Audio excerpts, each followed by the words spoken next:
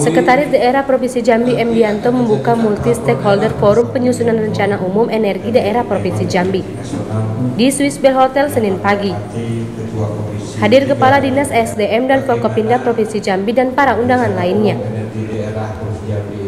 Diadakannya agenda penyusunan rencana umum energi daerah Provinsi Jambi ini untuk menjabarkan permasalahan SDM di Provinsi Jambi.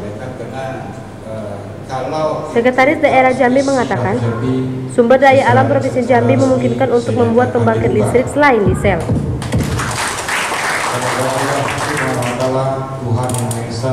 Sekda Provinsi Jambi juga berharap kepada pihak perusahaan PLN Jambi untuk dapat bekerja sama untuk memasarkan PLTU, PLTG, dan lainnya.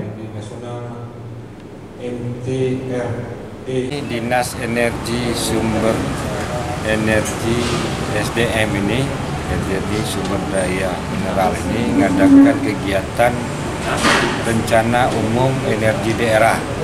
Jadi katanya proses ini sudah tahun 2017 yang lalu. Jadi ini nanti ujungnya adalah perda. Perda tentang rencana umum energi daerah Provinsi Jambi Tadi saya sampaikan bahwa Provinsi Jambi ini sumber daya alamnya itu memungkinkan kita untuk membuat energi eh, apa namanya pembangkit listrik selain yang selama ini do, di dominan eh, dengan diesel. Jadi saya sampaikan juga bahwa banyak yang bisa dibuat, bisa dari Dari Jambi, Nurani Ulansari, Tribrata TV, Salam, Tribrata